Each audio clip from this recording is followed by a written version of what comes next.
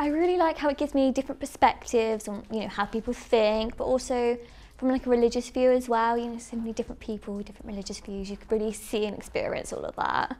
Uh, we do a lot of group work, um, which I really enjoyed. We did presentations as a group not too long ago, and that was so fun. Difficult, um, fun, and really interesting.